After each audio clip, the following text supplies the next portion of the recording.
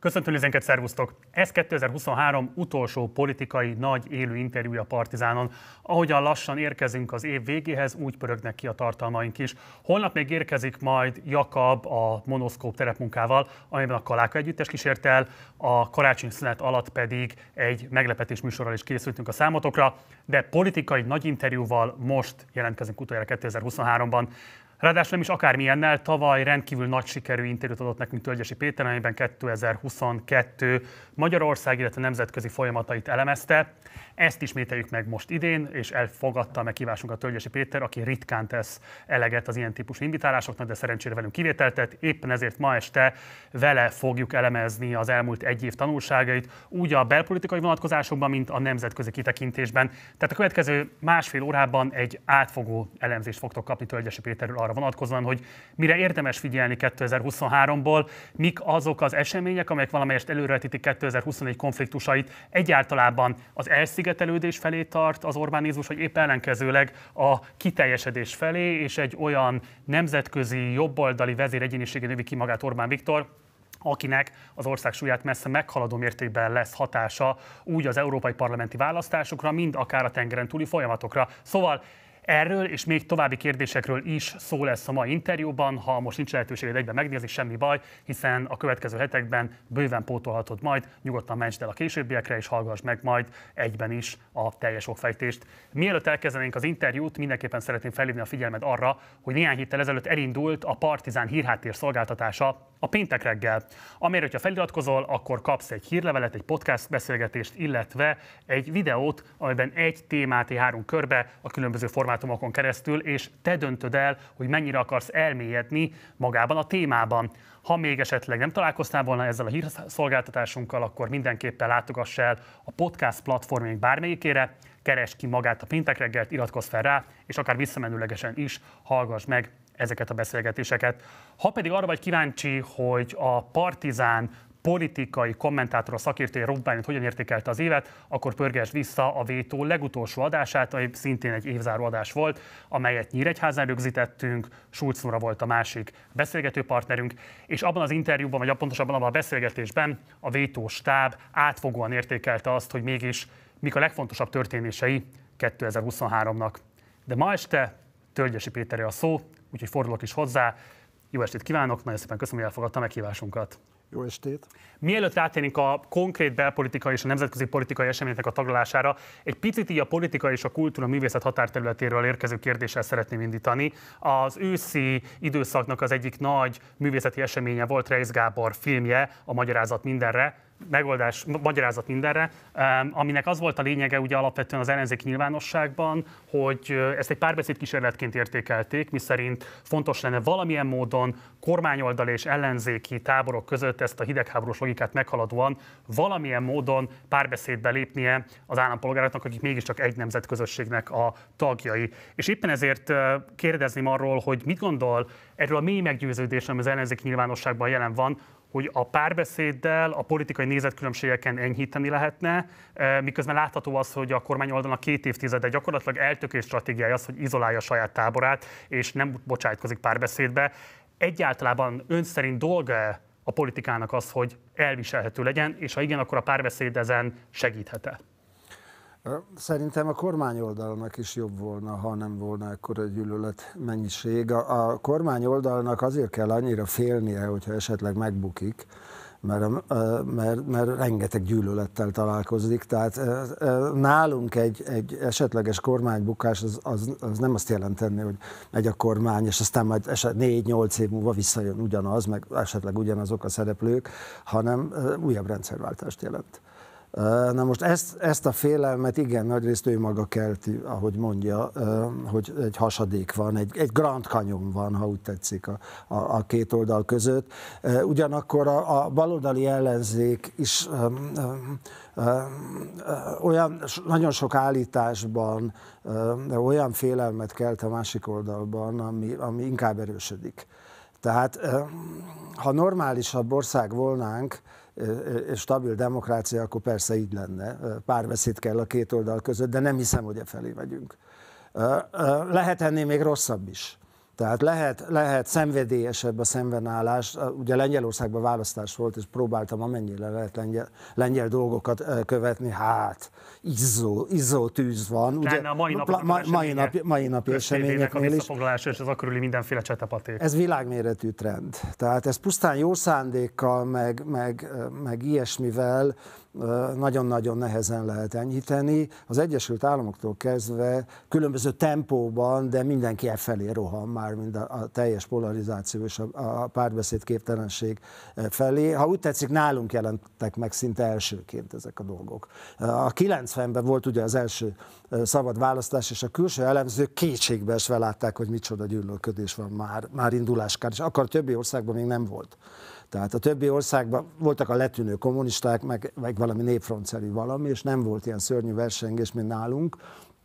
Nálunk előre haladott a dolog, de, de másutt is ott van, és van, van aki abszolút túlszárnyal ebben a dologban minket. Tehát nem hiszem, hogy pusztán a jó szándékkal, ö, ö, odamondogatással mi egyébben segíteni lehetne ezen. De az elviselhetőség a politika vonatkozásában ön szerint egy reális, kívánatos elvárás? Kell-e az, hogy a politika elviselhető legyen? A stabil demokrácia lehetetlen nélkül.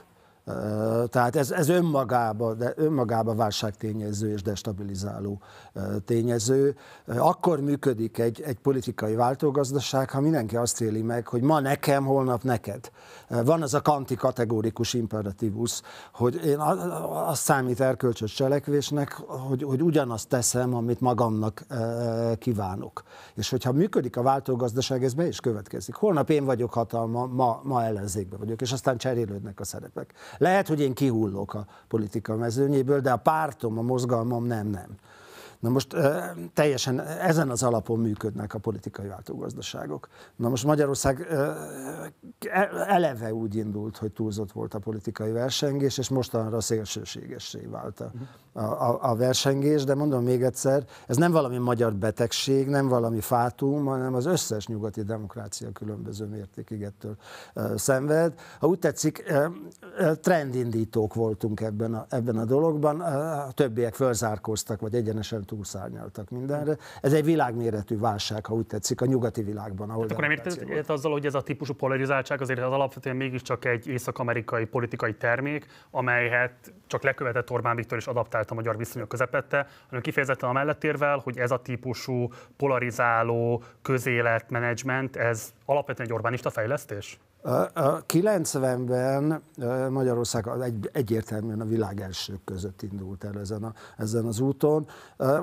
Orbán Viktor inkább alkalmazkodott ehhez a, ehhez a logikához. Tehát a, a leges legelején rengeteg olyan mondatot lehet találni, amikor azt mondja, hogy ebből katasztrófa lesz tehát 92-es, 93-as, 94-es mondatot, hogy itt 20 év, 30 év háború fog bekövetkezni, de, de nagyon hamar rá kellett jönni erre, hogy ebben, ebben a siker lehetősége is benne van. E, egyszerűen omladozóban van a jobb és bal középpolitika, mindenütt beindult valamekkora polarizáció. Ha úgy tetszik, minden politikus szeretne minél tovább hatalmon lenni. Egyszerűen azért, mert hisz a saját sikerében, és a siker nyitja egyik, egyik nyitja pontosan ez lett. Orbán Viktor ezt hihetetlen tehetséggel fölismerte, működtette, és, és ott tartunk, ahol tartunk. Ha úgy tetszik, egy nagyon érdekes ország lettünk, ennek megfelelően hivatkoznak ránk, és a, a, az ország súlya is messze fölötte van ebben a, a, a méretéhez képest.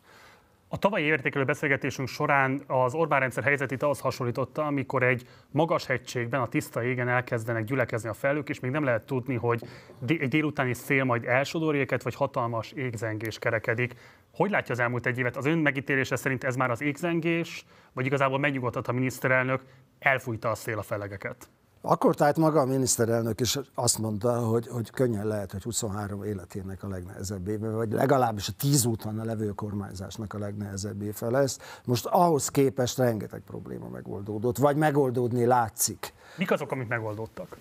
Hát például sokkal kisebb az infláció Az jóval a 20... is köszönhető. A világméretű mozgás volt, az uniós átlag az 3,1 százalék, nálunk még mindig 7 fölötti, tehát mindig számottevően magasabb, de már nem olyan pusztító az infláció. Ez az első elem. Aztán négy negyed éven át nem volt Magyarországon növekedés, visszaesés volt. A utolsó negyedékben már növekedés van. Ha megnézzük az adatokat, a reálbér is októberben elkezdett nőni. Icipicit, tehát inkább stagnálásról van szó, de, de messze nincs ez a, a probléma. Tavaly ősszel volt az Egyesült Államokban felidős választás, és akiket a Trump támogatott, Donald Trump, azok kb. 5% ponttal rosszabbul szerepeltek, republikánus jelöltek, mind akiket nem támogatott. Úgy tűnhetett, hogy akire ő ráteszi a kezét, az veszít. Az akkori kampány fő eleme az abortusz ügy volt, és a, a demokraták lényegesen a várakozásoknál jobban szerepeltek. Ha nekem lett volna ilyen fogadó irodám, legfeljebb 35%-ra fogadtam volna Donald Trumpnak a visszatérését, most mondjuk 55-re fogadnám.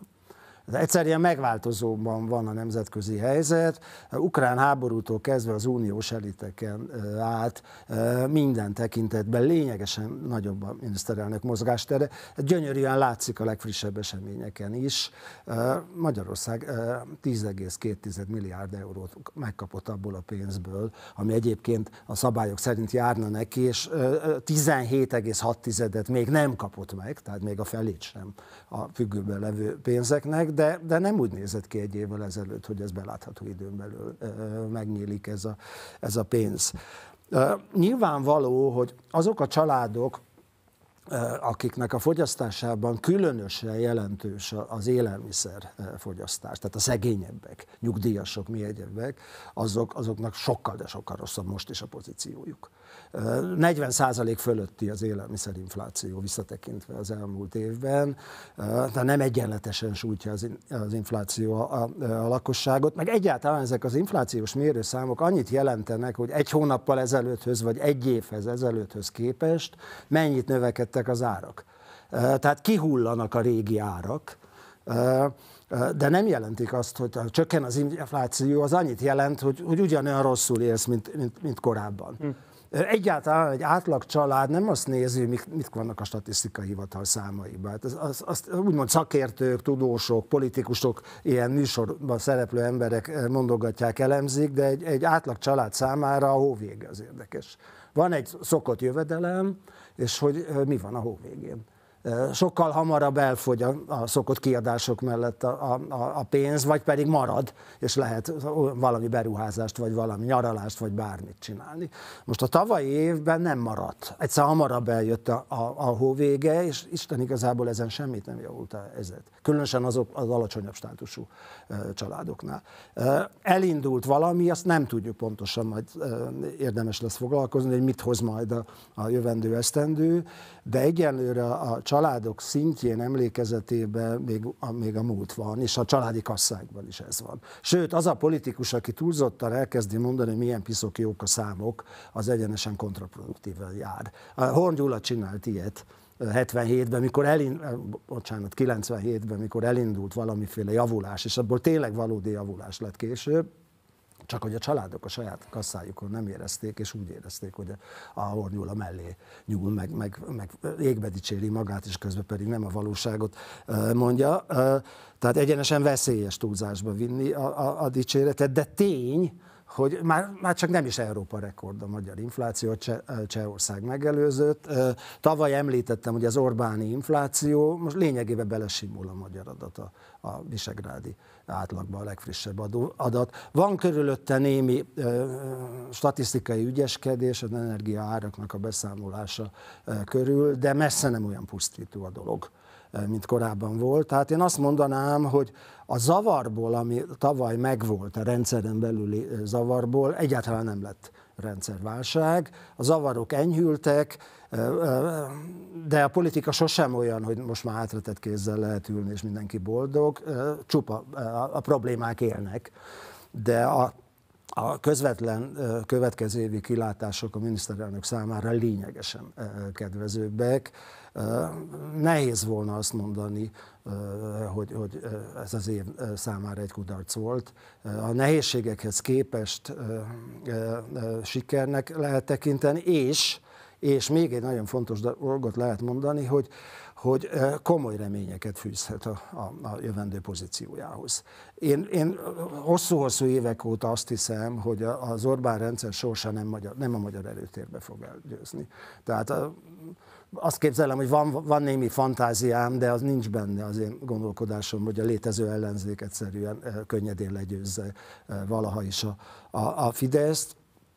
Az látszik a miniszterelnök mozgásában, hogy, hogy a Donald Trumpra tette föl a, a, a voksát, a saját személyes pályáját, az ország pályáját, és Donald Trumpnak az esélyei azok akár tetszik, akár nem, folyamatosan javultak. Beszéljünk az amerikai elnökválasztásról, de egy kicsit még az európai szintérnél, és akkor, hogyha a nemzetközi változásokat említette, ezen a vonalon mennék tovább. Ugye a migráció kérdésében volt az az álláspontja tavaly, hogy igazából ott Orbán Viktor kivárása meghozta azt, hogy az ő álláspontja Európa szerte sokkal elfogadottabb lett, mint volt 2015-ben, és hasonló helyzet állhat majd elő az ukrajnai háború vonatkozásában is. Tehát a pária státusza, ami 2022 tavaszán övezte őt, az idővel simán lehetséges, hogy sokkal szélesebb körben osztott álláspont lesz majd. Ugye lehet azt látni, hogy egyrészt idén az ukrán ellenoffenzíva nem hozta meg a várt eredményeket, azt is lehet látni, hogy nyugati pénzügyi támogatások elapadóban vannak, vagy legalábbis sokkal nehezebben állnak rendelkezésre, mint korábban. Érezhető egyfajta kifáradás, más a nemzetközi európai közvéleményben. Ugye Iván Krastev nálunk adott egy interjút, ahol ő szintén erről beszélt, hogy ezt erősítette meg. Mit gondol, fel fog zárkozni az EU álláspontja, Orbán Viktor álláspontja mögé kifejezetten az ukrajnai háború megítélésében? A, a, a, egy nagyon kockázatos akcióba kezdett a magyar miniszterelnök, hevesen, élesen ellenezte az ukrán tagfelvételt az Unióba való tagfelvételt, és meg is vétózta fél órával később a, a konkrét pénzügyi támogatást Ukrajnának. Szerintem a célja nagyjából az volt, hogy jövő nyár elejére benne legyen a fejekben, az átlagember fejében is, hogy az Uniónak és egyáltalán nyugatnak az ukrán politikáját hevesen ellenzi. A, a részletekre már az átlagember nem fog emlékezni, de erre viszont nagyon. Ezt 23-szor aláhúzta, és 23-szor bejelentette. Most a, a, a, a politika, de egyébként minden vezetés nem a múltról, és még csak nem is a jelenről szól, hanem arról, hogy ki látja helyesen előre a jövőt. Ki az, aki igazolni e, tudja magát a jövőben. E, egy, egy, egy tőzsdei üzlet is erre vonatkozik. Tehát ki az, aki előre látja az olajárát a következő időszakra, az fog nyerni a tőzsdén, és aki rosszul látja előre, az veszíteni fog. Most Orbán Viktor tétele az, hogy Ukrajna vesztésre áll ebben a háborúban. Most ez, ez nem valami rendkívüli tétel, az Economist címlapon hozta, hogy jelenleg Putyin áll nyerésre. Az Unió számára is azért volt fontos az ukrán tankfelvétel elindítása, hogy egy szimbolikus gesztust tegyen. Ez nem volt több, mint egy szimbolikus gesztus. A Törökországgal folynak ilyen tárgyalások 99 óta, és ma távolabb van a török tagfelvétel, mint akkor volt. Tehát az unió vezetői érzékelik, meg egyáltalán a nyugat vezetői érzékelik, hogy az ukránok bajba vannak, és azt akarják üzenni ezzel az ukránok felé, hogy, hogy valamikor majd elérhető lesz az az európai jólét. A rengeteg ukrán menekült van, az ukrán nép alapvetően tisztában van, hogy milyen élet van Nyugat-Európában, és az üzenet az, hogy ti is ezt kaphatjátok, ha kitartotok. Két évtizedig.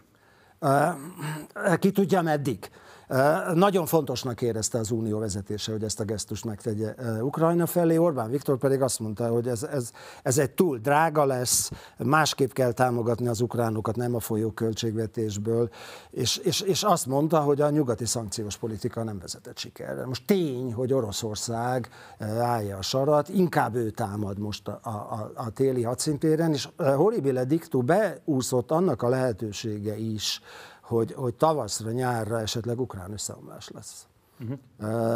Nagyon nehéz kitartani, és hát Oroszország nyilvánvalóan azt követelné, hogyha ha, ha valami béke felé indul a dolog, vagy egyáltalán tűzszünet felé, hogy, hogy Ukrajna mondjon le azokról a területekről, ahol orosz katona van jelenleg, és mondjon le a NATO csatlakozásról egészen bizonyosan, de még, még előfordulhat, hogy az orosz pozícióban az is benne van, hogy unió, uniós tag se legyen. Ez a valós helyzet. Irtózatos áldozatokat hozott. Ukrajna hősiesen harcolt, az ukrán nemzet tudat most épült ki, de írtózatos veszteségei vannak az ukrán népnek.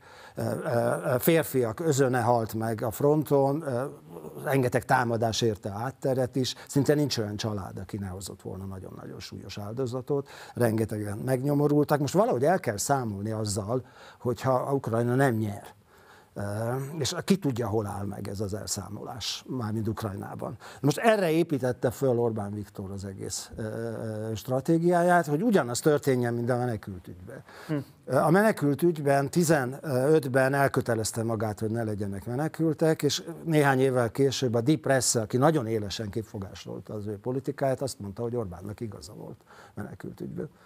Ugye már az akkori kormánypárt, Merkel asszony pártja is inkább kívül látná a menekülteket.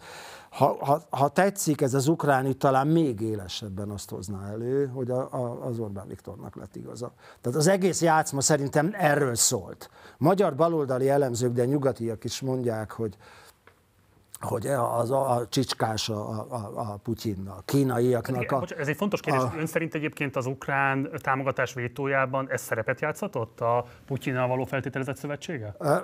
Bizonyára igen, de a döntőelem, a döntőelem nem ez. A döntőelem az, amit előbb mondtam. És a döntőelem Orbán Viktor tizenvalahány évében nagyon különböző nyugatpolitikát csinált. Ez egyáltalán nem egységes szakasz. Az elején azt mondta, hogy a nyugat alkonya következik be hogy a nyugat elveszítette az erejét, és aztán egyre inkább megjelent, hogy keletre kell nyitni. Megjelentek a keleti szövetségesek.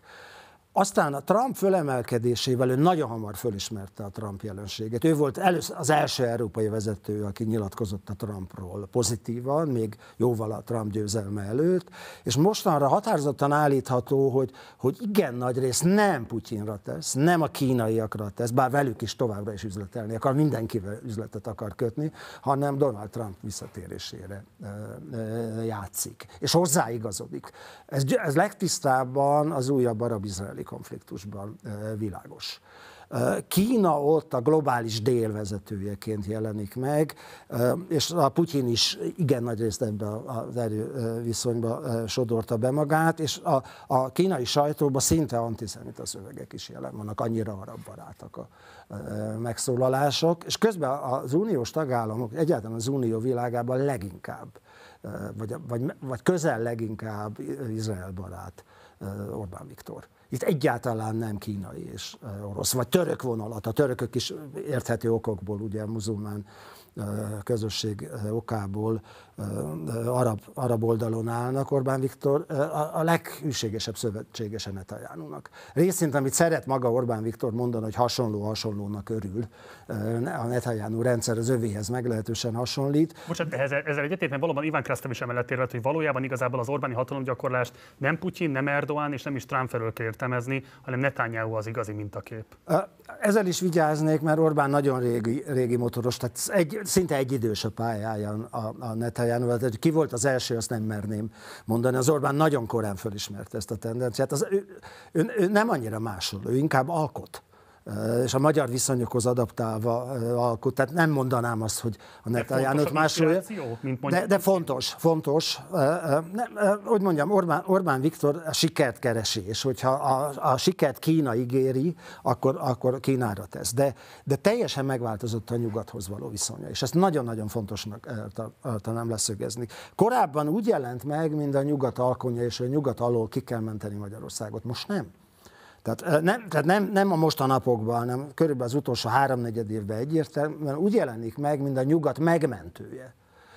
Ő maga kimondta, hogy ő nem fekete bárány a nyugat számára, mondja a Divel beszédében, hanem első fecske. Az egész nyugat Orbán fogja követni, az Orbáni politikát fogja követni. A Trump is e, tulajdonképpen az ő követő, és időrendben tényleg a, a Trumpra azt se tudtuk, hogy létezik. A, esetleg szenvedélyes e, ilyen amerikai reality sorozat, e, meg a Trump toront ismerők tudhatták, hogy egyáltalán létezik mikor Orbán Viktor már rég miniszterelnök volt. Szóval azt mondanám, hogy nagyjából az a teóriája, és azt gondolhatja magában, hogy ami Magyarországon igaz volt, az miért ne lenne a nyugati világ egészére igaz? Hm. hogy a régi hagyományos baloldal, az új baloldal, a régi hagyományos jobboldal, tehát a régi jobb-közé politika az e- szépen megsemmisül, eltűnik, úgy, ahogy nálunk az MSZP-SD, ez roncsá vált, és roncsként működik a magyar világban, és helyette a jövő az övé lesz, az olyan politikai, az új jobboldali, amit, amit egyik első helyen ő, ő képvisel, és időrendben tényleg az egyik első helyen jelent meg. Én azt mondanám, hogy ha úgy tetszik, ő a, ő a dárdának a hegye, a, a kardnak az éle ha úgy tetszik, ikonja ennek az oldalnak. A, a nyugat viszonya is változóban van hozzá képest. Az elején úgy tűnt, mint valami, valami kelet-európai ripacs, tehát valami peremvidéknek ilyen ágáló valaki. Tehát aki, akinek nagy a szája, de nem kell vele törődni, komolytalanság az egész. Aztán a menekült ügyben ez egy jelentős váltás következik. A menekült ügy teszi igazán világpolitikai szereplői, az ottani kiállása, és akkor úgy jelenik meg, mint a, mint a gonosz akit, akit lelepleznek, és a, a, a, nyugati hasonló gonoszoknak szánt pofonokat is nagyon sokszor ő kapja. Tehát őről a keveset tudnak, a Trumpnak járó pofonok is igen nagy részt az Orbánnak szólnak, és mostanában egyre gyakrabban úgy írnak, mint az új jobboldalnak az ikonjáról. Tehát nagyon izgatott, hogy mi történt Hollandiában. Ez egy nagyon fontos választás. Legalább olyan fontos. Hollandia jóval kisebb ország, mint Lengyelország, csak hogy egy nyugatos magország. Ha úgy tetszik, a nyugat nem is az Egyesült Királyságban, Angliában kezdődött, hanem a Németalföldön. Hollandiában és ott az Orbánnak az egyik legfontosabb szövetségese.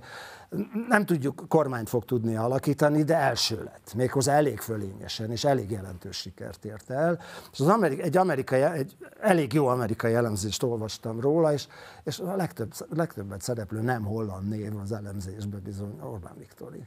És Kerek Perec az van írva benne, hogy, hogy a, a hollandok jelentős részben őt követik, és ikonja az új jobboldalnak.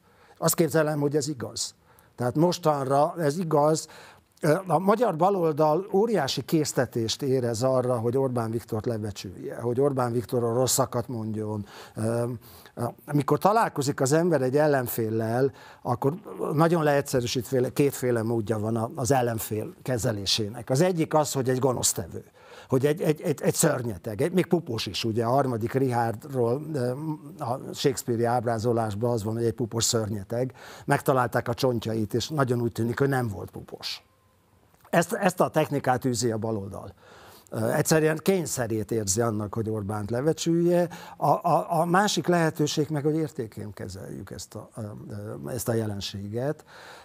Akár tetszik, akár nem, Orbán Viktor ha úgy tetszik, világpolitikai tényező lett, és ezzel az országot is világpolitikai tényezővé emelte. Most ez egy hallatlanul kockázatos játszma.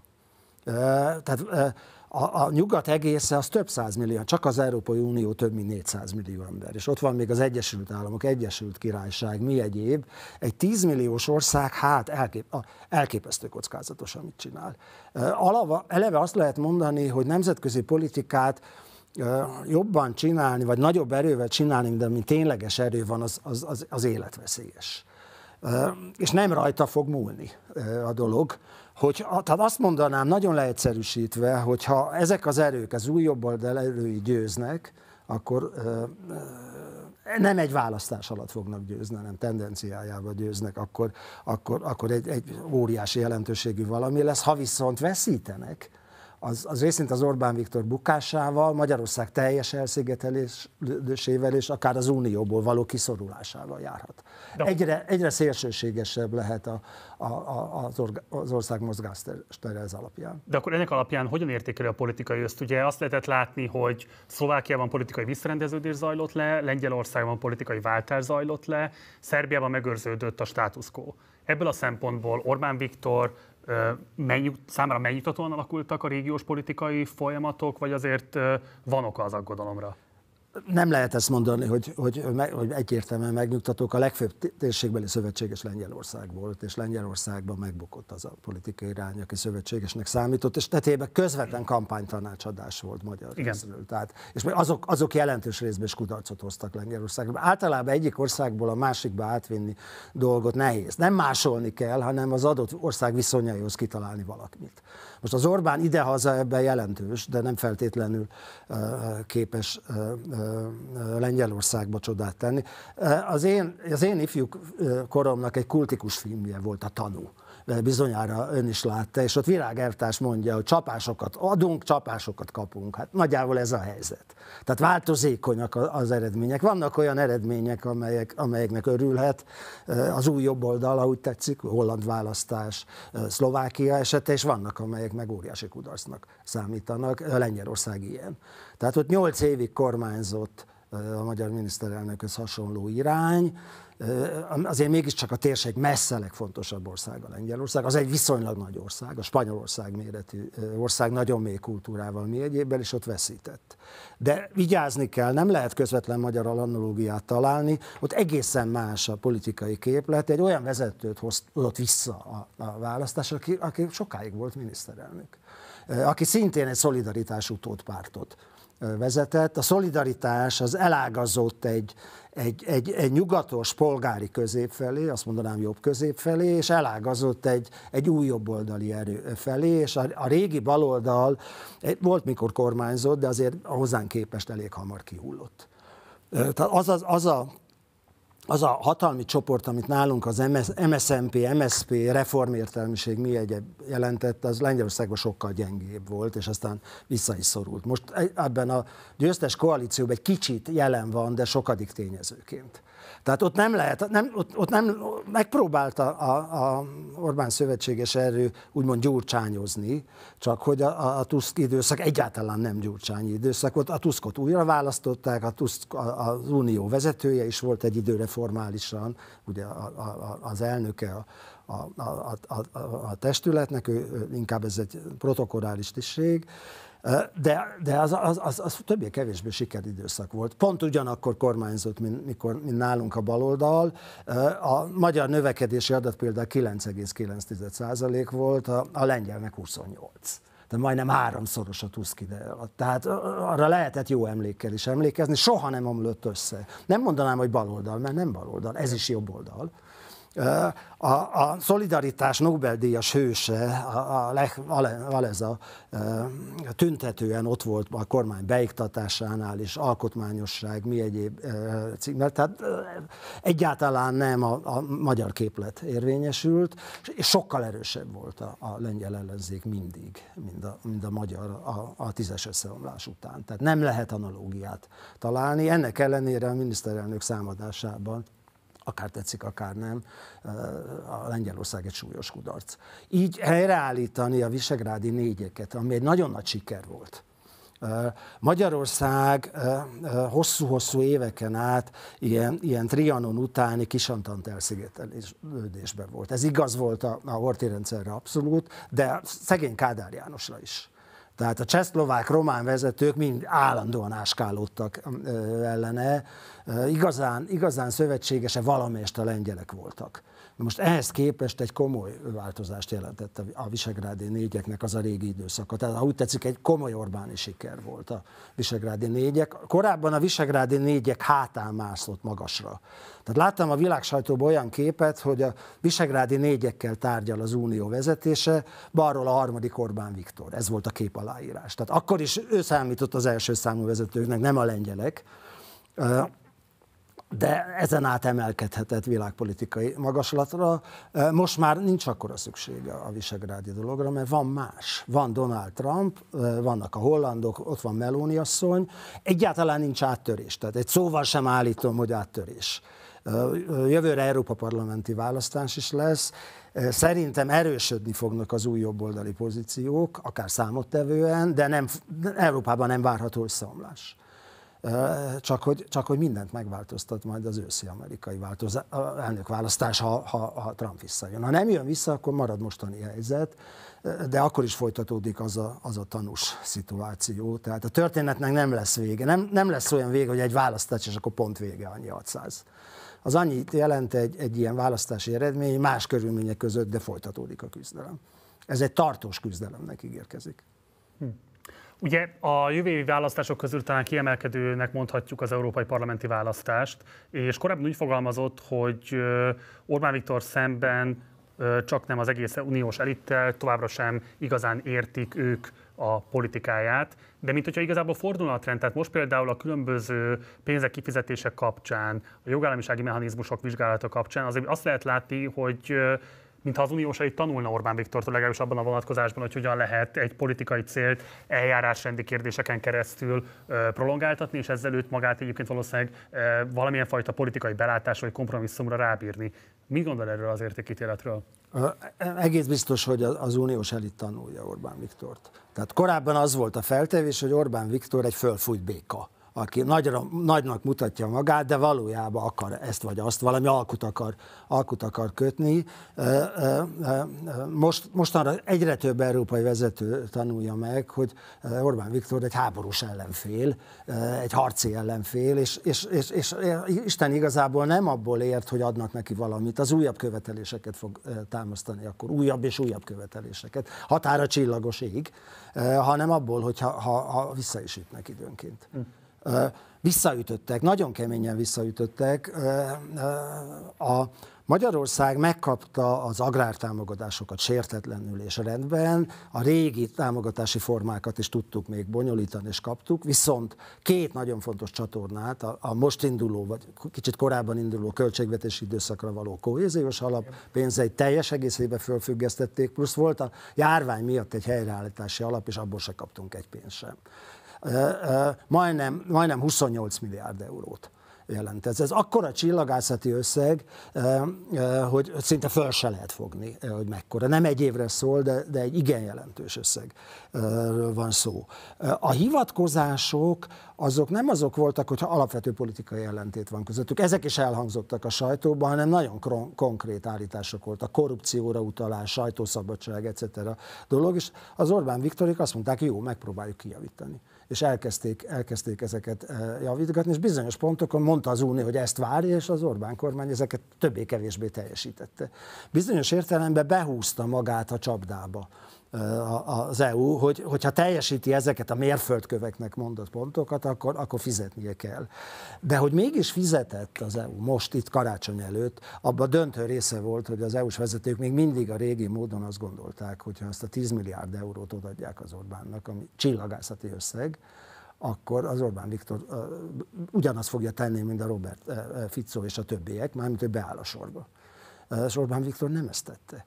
Most ezt az uniós vezetők nagyon megjegyezték szerintem, és, és könyörtelenül vissza fognak ütni, ha abban a helyzetben lesznek, hogy vissza tudnak ütni. De az Orbán Viktor feltevése az, hogy nem lesznek ebben a helyzetben. Tehát az Európa parlamenti választáson józan ember szerintem egy jobb, új jobboldali erősödést várhat, de, de fordulatot, és az, hogy ez legyen Európa vezető ereje, azt még nem.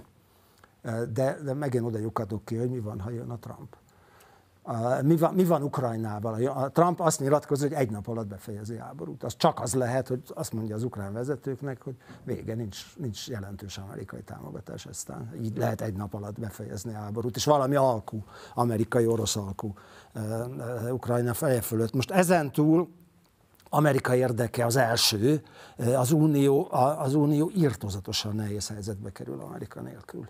Nincsen igazán hadserege. Már pedig az ukrajnai háború azt mutatja, hogy katonai erő is kell.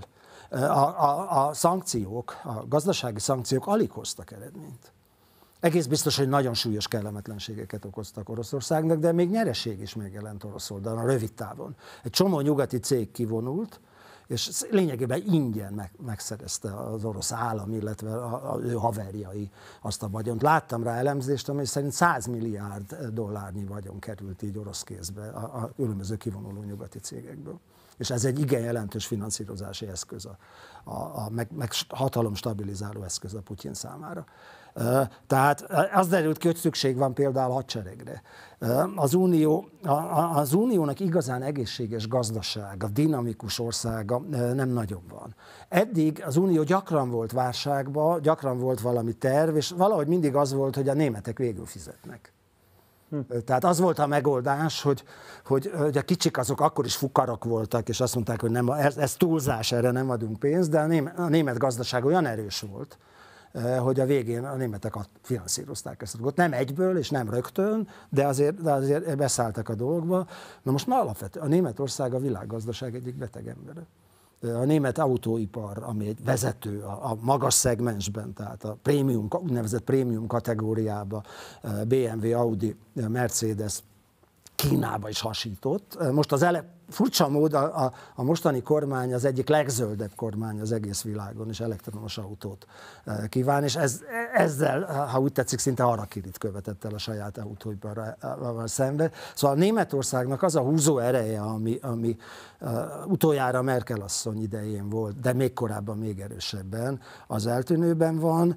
Uh, nagyon nehéz helyzetbe kerülhet az EU erit, hogyha ha elveszíti Amerikának a, a, a közvetlen szembenállását, és nem valami távol távoli jövőben, hanem, hanem rögtön már nem 24-ben, mert az elnök, amerikai elnökválasztás csak novemberben lesz, hanem majd január után, hogyha bekövetkezik az a dolog, ami bekövetkezik. Félreértés ne essék, egyáltalán nem azt állítom, hogy biztos, hogy visszajön a Trump. De már számolni kell ezzel a lehetőséggel is. Ennyit mondok. De hogyha visszajön, valóban tud-e olyan áttörést elérni ezen keresztül Orbán Viktor, mint amiről fantáziált. Tehát 2019-ben a legutóbbi LP választáson ö, új jobboldali áttörésben reménykedett, ez csúfosan nem jött be, sőt utána az olasz választáson nagyon komoly téteket tett Meloni asszonynak a szövetségi pozíciójára, ami látható, hogy nem jött be szintén, hiszen Meloni az egyik legelkötelezettebb atlantista vezetője az európai államoknak. Ö, az ukrán szabadságharc vagy háború ügyének is egy igen elkötelezett támogatója.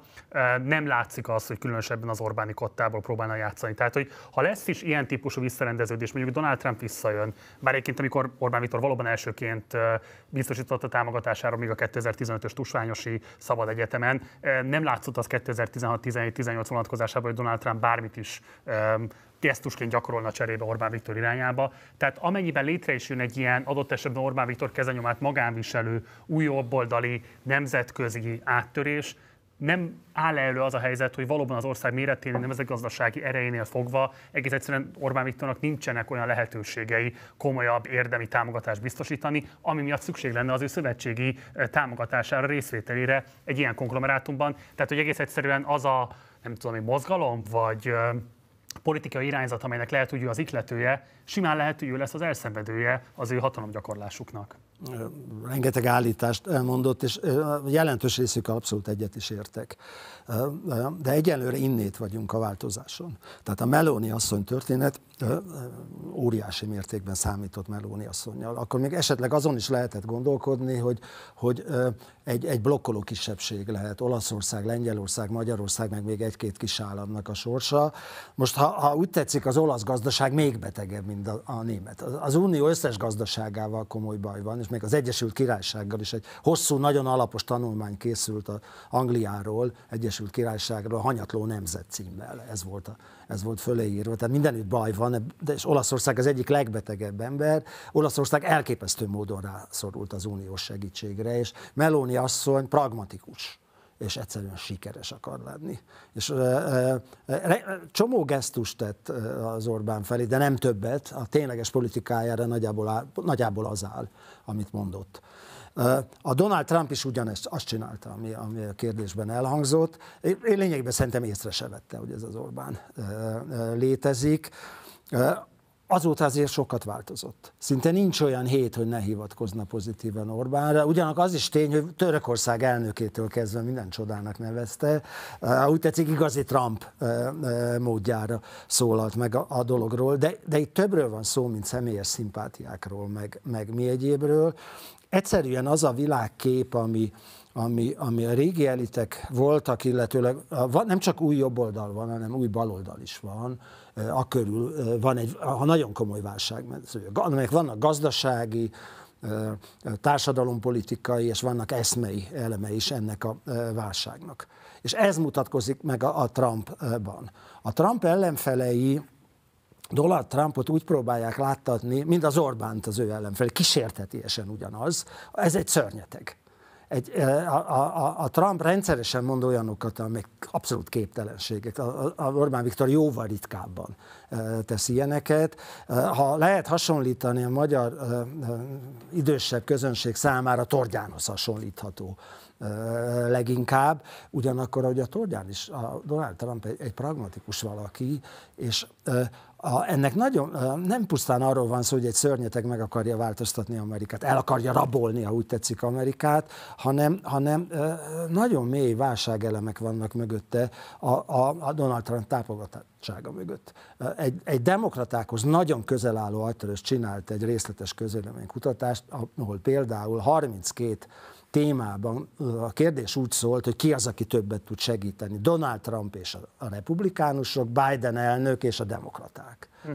És ö, olyan témákban, hogy a női egyenjogúság, női jogok ö, fölényesen vezet a, a Biden. Éghajlat fölényesen vezet a, a, a Biden. De a, a, az a kérdés volt, hogy a kisemberek védelme, e, ezeknél is jobban a, a Trump. Tehát a kis embereket ő védi meg. Aztán az elit ellenes dolgok. És ami, ami aztán különösen szinte sikítani lehet, az a kérdés, hogy a szélsőségek elleni eh, védelem, eh, képzelje el, 3 ponttal eh, a Trump nyeri a szélsőségek elleni védelmet. Szélsőségesebbnek lát, és van egy másik kutatás, ami 9 ponttal szélsőségesebbnek látja, 9% kal többen látják szélsőségesebbnek a demokratákat, mint a republikánusokat. Aztán arra a kérdésre, hogy kik azok, akik gazdasági problémákat meg tudják oldani, megint eléggé jelentősen a republikánusok vezetnek, és nem beszélve olyan dolgokról, mint a bűnözés, ami mindig nagyon fontos Amerikában, vagy a bevándorlás kérdés, ott elsöprő a, a republikánusok fölénye. Maga az agytrözt azt írta erről, hogy drámai a, a, a, a helyzet sok tekintetben. A, a korábbi demokrata koalíció az azon nyugodott, hogy van az amerikai kisember, alsó középosztály, ez a, a New Deal középosztály, ha úgy tetszik, vannak a különböző kisebbségek, afroamerikaiak, bevándoroltak, latinók, mi egyebek, és van a kulturális egyetem és egyéb elit, a Hollywood, meg mi egy, és a mainstream sajtónak a szövetsége. Most ez is elkezd bomladozni. Trump 16-ban, mikor nyert, 6% afroamerikai szavazatot kapott, és most van olyan közönkutatás, ami szerint átlépte a 20 de, de tic fölött van mindegyiknél. Egészen egyszerűen, kicsit a magyar módra is, ott is jelentős infláció volt, hozzánk képest jóval kisebb, de jelentős infláció volt. A, a, a színes szavazók azt mondják, hogy semmit nem kaptak a demokrata pártól. Nekik a problémájuk az, hogy nem tudják kifizetni a számlákat. Mm. El vannak szegényedve, és a Trump alatt meg ki tudták. A Trump férfiassága sok színes férfira is hatást gyakorol. Egyszerűen ugyanaz történt, mint nálunk, sőt Amerikában előbb, hogy kicserélődtek a pártok közönségei a, a, az alsó középosztály, a, a, munk, a fehér munkás Amerika, az a Trump mögött van. A kiáltó arányban 60% fölötti van a, a fehér egyetemi végzettséggel nem rendelkező embereknek az aránya. Arra a kérdésre, hogy ki az, akit a, a a középosztály leginkább el tud fogadni, és középosztály támogató politikát csinál, közel 30%-kal a demokraták vezettek szokásosan a New Deal óta. És most majdnem beérte a, a Trump őket és egy csomó más probléma is létezik. A, a közönség jelentős része egyáltalán nem, nem látszik most vevőnek a, erre a szörnyetek dologra. Most ahogy közeledünk az amerikai választáshoz, előfordulhat, hogy ez az, tehát messze vagyunk még a választásokra, jövő november lesz, tényleg az a problémája a családoknak, hogy hogyan fizetik ki a számlákat. Lehet, hogy hatni fog ez a, ez a dolog, hogy jön a szörnyeteg és hambe kap mindent, és elpusztítja a demokráciát és mi egyebet. Ez hatott úgy, ahogy, de hatott korábban, de, de, de nem biztos, hogy hat. Ez, a, ez adja, ez, adja a, a, ez a kettő dolog, az elégedetlenség a régi elitekkel ö, szemben, és ez adja, a, a, és az, hogy szélsőségesebbnek látják, az új baloldal csomó követelése miatt a, a, a Trumpot. Most ezen kívül a baloldalt elképesztő módon megosztja generációsan például az újabb izraeli arab konfliktus. Elképesztő módon megosztja. A, a, az idősebb baloldal a, arra a kérdésre, hogy, hogy kicsit a, a, a önökhöz hasonló módon a kérdés valahogy úgy szól, hogy az osztály elvű, meg rasszista elvű elnyomás mennyire jellemző Izraelre. És a 65 évnél idősebb generáció csak 9%-ban mondja, hogy igaz ez a, ez a dolog, és a 26 év alatti generáció pedig 60 valahány van. Tehát drámai konfliktus van az új baloldali rész és a régi hagyományos baloldali rész között a, a demokrata párton belül.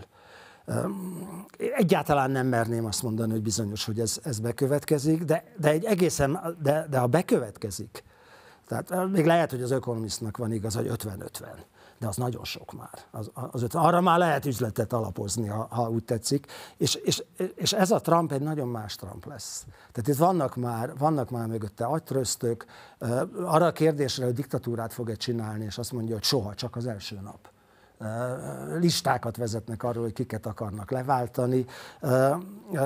Az a, az a gyanúm, hogy a, a Trump is érzi, hogy ez nemzetközi méretű dolog. Nem hiszem azt, hogy Magyarország súlyának, súlyánál sokkal jelentősebb szerepet játszhat ebbe, de, de, de, de mint szimbolikus tényező, mint a Dárda hegye, a Dárda éle, az ott lesz.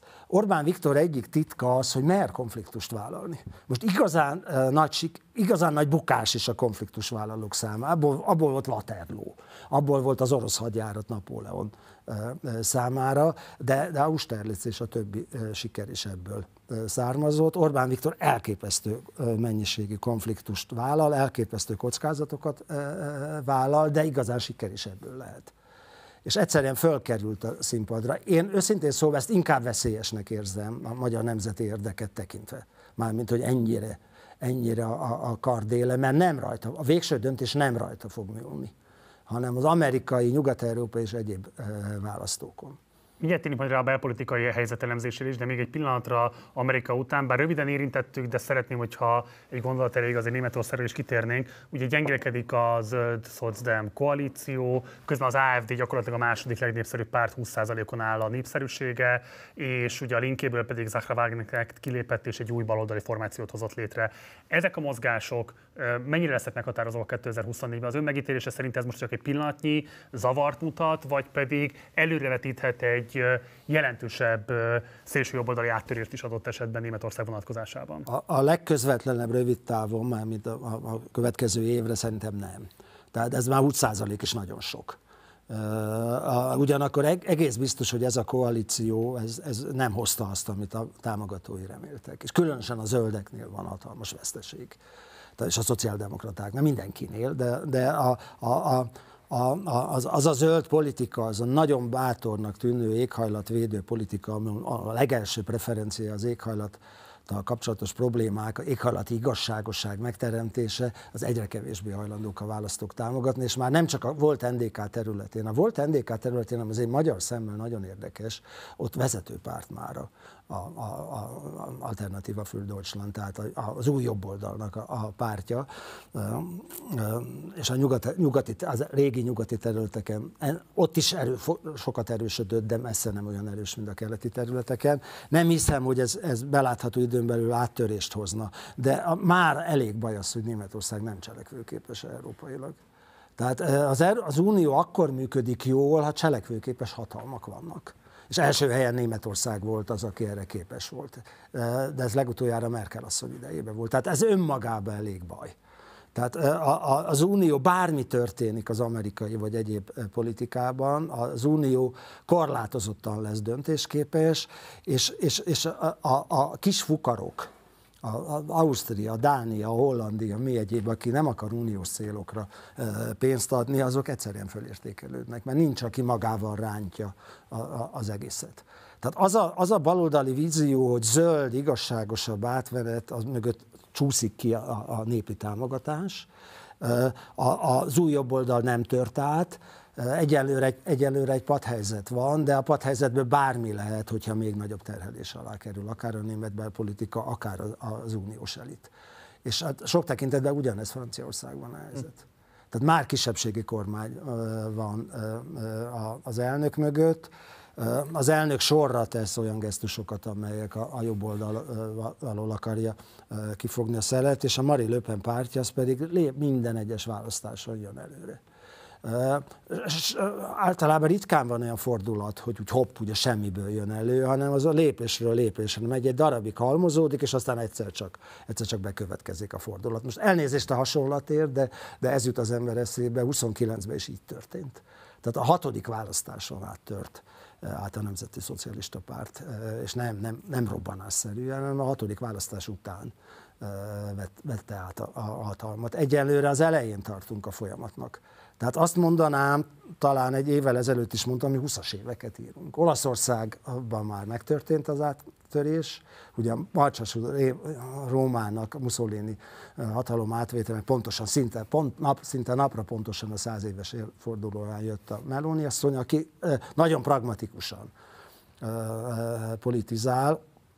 Egyébként a Trump is ténylegesen pragmatikusan politizált. Tehát bennünk egy csomó dologban hamis kép van. Tehát mit, ott az abortusz ügye, ami egy döntő kérdés volt a, a idő előtti választásokon, a, a, a Trump nagyjából ugyan nem, a, a, nem fogadja el azt az abortuszt, hogy a leges legvégéig, utolsó percig lehet abortuszt csinálni. Néhány államban ezt is megengedik, de van a másik a jobboldali pozíció, hogy 6 hétig lehet csak abortuszt, vagy még addig se, azt meg ő szörnyűségnek tartja, hanem valahol a kettő között van, ami nagyjából a magyar pozíció mármint a Magyarországon hatályos törvénynek a pozíciója. Jóval pragmatikusabb a Trump ám, mint aminek ebből a, ebből a szörnyetek látszik. Ami világos, hogy a, a, a régi Európának és a régi elitnek messze nem olyan szilárd a pozíciója, mint volt. Hogy ebből mi következik, ahogy tetszik, ez a jövő titka, de, de hogy kinyíltak kapuk, az, az, az, az, az egészen bizonyos. Jövőre ugye az európai parlamenti választás mellett önkormányzati választások is lesznek Magyarországon, addig még nagyjából egy fél év van hátra, és 22-ben tartottak országgyűlési választásokat.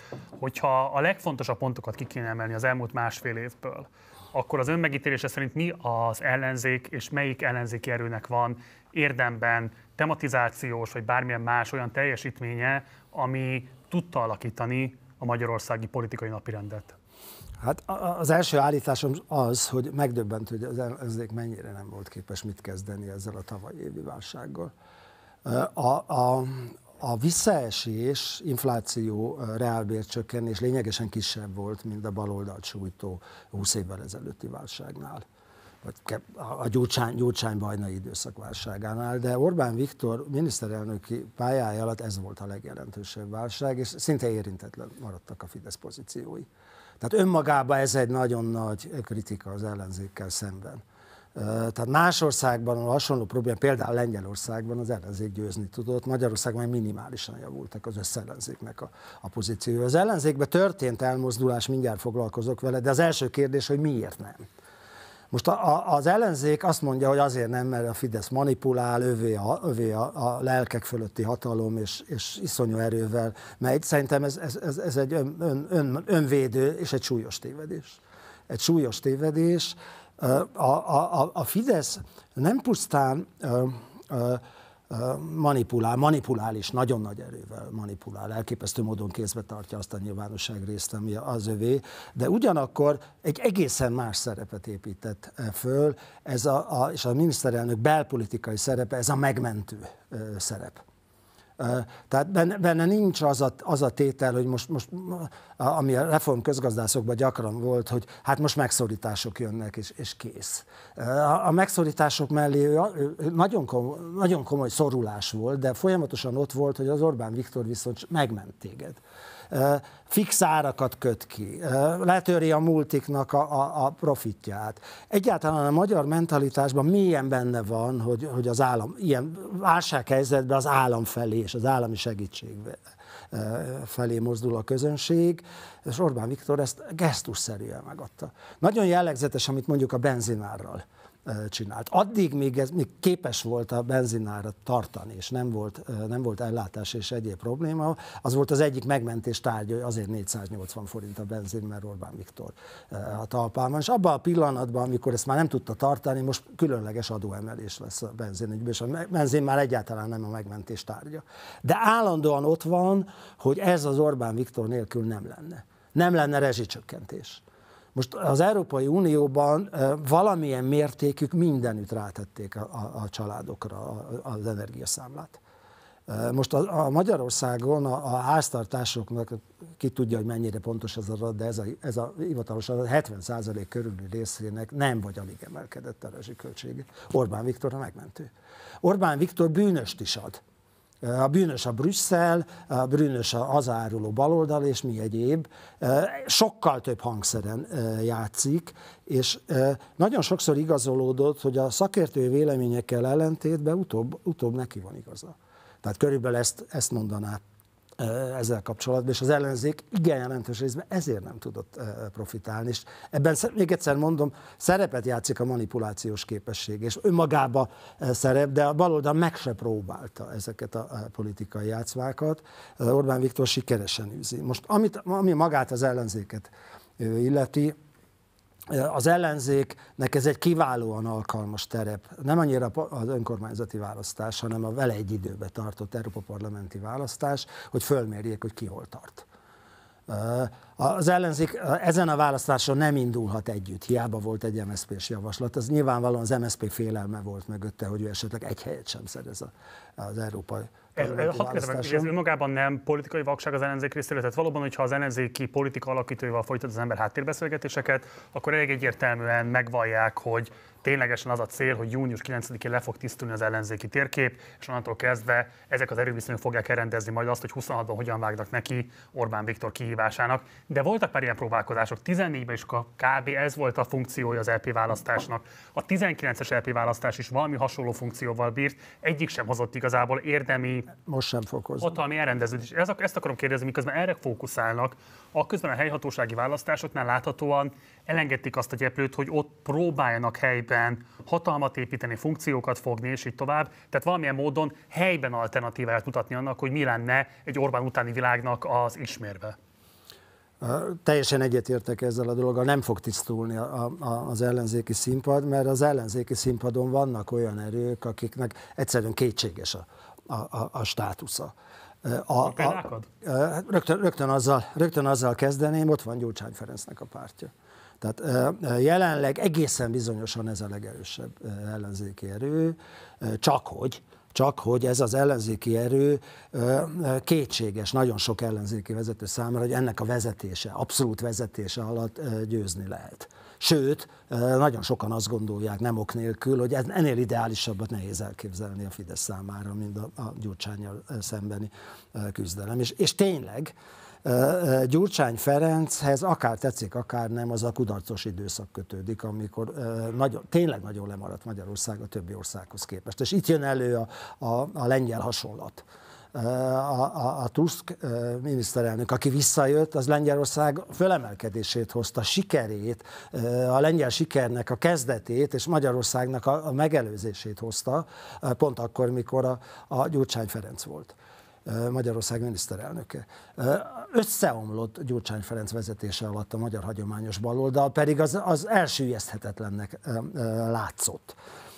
Gyurcsány Ferenc titka nagyjából az, hogy ő, tökéletesen megértette a politikai helyzetet, és tökéletesen megértette azt, hogy lehető legtávolabb kell elhelyezni saját magát az Orbán rendszerhez képest.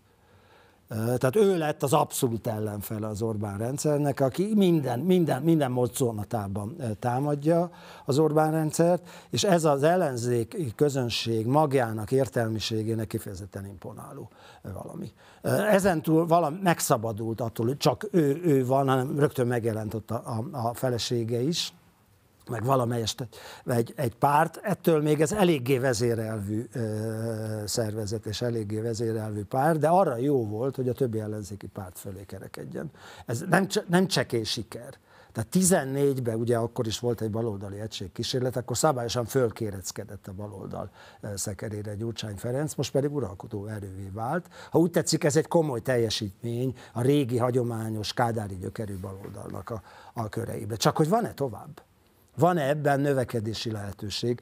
A Gyurcsány Ferenc pártja azt gondolja, hogy ígérni kell. Ez, ez annak idején Horgyulának nagyon bejött. És, és ha akarom, Megyesi Péternek is nagyon bejött, maga Gyurcsány Ferencnek is nagyon bejött 2006-ban. Újra és újra csúnyán megverték a Fidesz, de, de most valahogy Gyurcsány Ferenc meg a felesége szájából ezek az ígéretek nem tűnnek olyan erősnek. A, a, a Gyurcsány Ferenc létezése szinte előhívja az alternatív ellenzéki pártigényeket. Tehát addig még a Gyurcsány Ferenc létezik, lesz olyan ember, aki azt mondja, hogy a Gyurcsányra nem, de másik ellenzékire igen. Most ezek közül a legígéretesebbnek a Momentum tűnt. A Momentum egy generáció pártjaként jelent meg, kicsit a Fideszhez hasonlóan. Mi vagyunk a tisztáknak a nemzedéke, nem vagyunk ebben a sok sáros dologba benne. Most ezen túl ez a, a, a, az Unióban gyakornokoskodó, nyugati egyetemet végzett, erősen nyugathoz kötődő ifjúságnak volt a, a mozgalma, és nagyon jól csináltak valamit, mert volt, végre lett valami más is, mint a hagyományos baloldal, aki szörnyű kudarcot szenvedett, elitjével, értelmiségével, mi egyébben a, a 2000 utáni években. Bár nyolc évet kormányozhatott, és egy komoly esély. Pont akkor kormányzott, mikor a térségben legjobb volt a konjunktúra. A végén ugyan jött a nagy válság, ugye a 2008-as világméretű válság, de előtte a térség legjobb időszaka volt. Akkor sorra tartós kormányok voltak. Az a, a Tusk időszaka, vagy a Zurinda kormány időszaka Romániában. Tehát a, a Momentum jó, hogy megszületett, de ugyanakkor mára teljesen kifulladni látszik. Tehát a Momentum számára már egy, már egy mandátum szerzése is siker volna. Tehát az a betörés, az nem sikerült. Ha, ha úgy tetszik, az új baloldalnak a tetében annak a, annak a, a nyugatosabb kapitalizmus hívő részének a, a, a pártja, és nem igazán van ott új ötlet, új erő, igazán politikai akciót se tudnak végigvinni. Látszik, hogy az is bolond, aki ma Magyarországon politizálásra adja a fejét, és egyszerűen tehetség meg egyéb hiány is van abban a, abban, abban a pártban. Miért, bocsánat, az, hogy most ugye Donát Anna át fogja venni a pártvezetését Gerencsér Ferenctől, amit azért az ellenzéki nyilvánosság régóta várt, talán el is várt Donát Annától, tehát az, hogy ő most vezető szerepet vállal, ez nem adhat egy új lendületet a Momentum számára? Ez elhozhatja az egy mandátumot a, a, a semmi helyett, esetleg még a kettőt is. Mert ugyanis az, hogy van egy csomó új párt, meg régi is, akik, akik, akik kétséges, hogy a 5%-ot elérik-e és egy csomó mandátumot újra osztanak. Tehát szavazat lesz rá, de, de azok, akik elérik az ötöt, azok között újra elosztják. Tehát viszonylag könnyű lesz kettőt szerezni, ha sok kieső lesz, már pedig rengeteg új jelentkező van. És ezekről mit gondol, bocsánat, tehát ugye rengeteg jobboldali párt jelenik meg most az elmúlt fél évben, akik jobbról kívánják előzni a Fideszt, és az a mondásuk, hogy igazából innen lehet megfogni a kormánypártot. Vona Gábor formációja, Márkizai Péter formációja, Jakab Péter formációja, hogy akkor még a jobbikról és az évekről ne is beszéljek, tehát hogy számtalan jobboldali párt mutatkozik az ellenzéki térfélen. Lehetséges jobboldalról kihívni a Fideszt? Én szerintem ez, ez nem igazán jobb oldalról való kihívás. Van jobboldali kihívó, a, a Duró Dóra és a, a férjének a pártja. Az szerintem meg is fogja szerezni a maga parlamenti mandátumot, akár többet is. Ugye az országgyűlési választások, közönkutatók nehezen mérik annak az erejét, nagy meglepetést okozva rendes parlamentbe is bejutott. Most is vannak saját témái, simán szerezhet két mandátumot is. Ő van igazán jobbra, tehát ő az, aki föntartja, úgy tetszik, a centrális erőteret, nem a régi módon. Régi jobbik erejének az elérése nincs előtte. Ezek a, ezek a kis pártok, részben új jelentkező, részben régi pártok szerintem, ha úgy tetszik, balra vannak a Fidesztől, nyilvánvalóan a régi baloldaltól meg jobbra, ebben az értelemben igaz, amit mond már, mint hogy jobboldali kihívást jelentenek. Szerintem ebben az erőtérben van szavazó a 6-8 százalék szavazó is lehet ebben az előtérben, de legalább négy potens jelentkező van erre. Hogyha csak testvérésen szétosztják azt a, azt a 6-8 százalékot, akkor meg se közelíti egyik sem az ötöt. Önt meglepte a kétfarkú kutyapártnak az erősödése? Egyáltalán nem. Az a csoda, hogy nem erősebb Magyarországon. Tehát ahol ekkora válság van, és ennyire polarizált a, a politikai szerkezet, mindig van olyan eh, szavazó, aki egyszer menekülni szeretne az egésztől. Most az a egyik menekül... azért már túlmutat a protest szavazatoknak a begyűjtésén, nem? Van, vannak ahol ilyen viccpártok, kalózpárt, eh, akik fölle mozognak, tehát eh, általában egy választáson nagyon jól szerepelnek, és utána lejjebb mennek, de még ez sem biztos. Tehát ahhoz képest, hogy milyen elég elégedetlen a magyar közönség a politikai kínálattal. És, és, és azért csomó emberben benne van, hogy jobb, jobb elmenni szavazni, azért mégiscsak hagy szavazok már valakire. Pláne magasabb státusúban ott van ez az érzés, hogy az nem tüntetés, hogy otthon maradok. Az alacsonyabb státusúaknak a, a fegyvere. Tehát inkább azon csoda, lehet csodálkozni, hogy nincs ilyen Magyarországon, és nem annyira most, mostanában kevés szellemes hírt olvasni a két farkú kutyák, de régebben tele volt ilyennel. De bármit megígérünk, csak tessék mondani, típusú dolog. A, a, a kétfarkú kutya az összesre nagyon komoly veszélyt jelent, és a Momentumra. Tehát a, a Momentum, akinek nincsenek olyan elkötelezett szavazói, mint Gyurcsány Ferenc pártjának, a valódi rivális a, a, a kétfarkú kutyapárt. Tehát ezzel is magyarázza mondjuk azt, hogy Donát Anna kifejezetten nyílt sakos küzdelembe kezdett folytatni a DK-val és, a, és Gyurcsány Ferenc pártelnökkel szemben kifejezetten az lehetette mögött a cél, hogy megkülönböztesse magát a DK-tól, és egyben a kutyapárt szavazói számára szimpatikusát tegye saját magát? Hát egyáltalán, egyáltalán a, senki nem akarja azt, hogy kudarc fűződjék hozzá, már pedig ugye az a párt két mandátumot szerzett, akkor azért nagyon nagy siker volt, és most egyet se szerez, az elképesztő, valamit csinálni kellett. Körülbelül ezt, ezt mondanám problematikusnak tartom az egészet. Óriási várakozásokat próbáltak kelteni Donát Anna körül.